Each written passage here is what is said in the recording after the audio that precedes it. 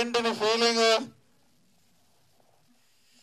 ముందుగా ఇక్కడికి వచ్చేసిన అందరికి థ్యాంక్ యూ థ్యాంక్ యూ ఒక పాయింట్లో డౌట్ ఉండే. వస్తారా లేదా అని. మీరందరూ వచ్చారు. నా గుండెల్లో ధైర్యాన్ని నింపారు. అండ్ ఎవరెవరైతే చూడలేదో థియేటర్స్కి వెళ్ళండి. పక్కా పక్కా ఎంజాయ్ చేస్తారు.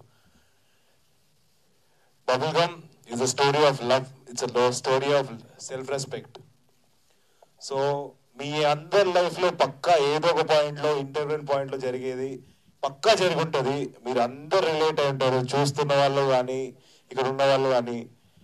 అండ్ క్రేజీ క్రేజీ రెస్పాన్స్ వచ్చారు thank you thank you so much for that and లాస్ట్గా నేను ఒకటే చెప్దాం అనుకుంటున్నాం.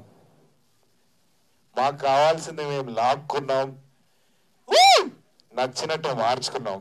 So thank you thank you so much ఏదో ఒక పాయింట్లో కాదు మన వాళ్ళు ఎప్పుడు లవ్ చేస్తూనే ఉంటారు ఎంజాయ్ చేస్తూనే ఉంటారు.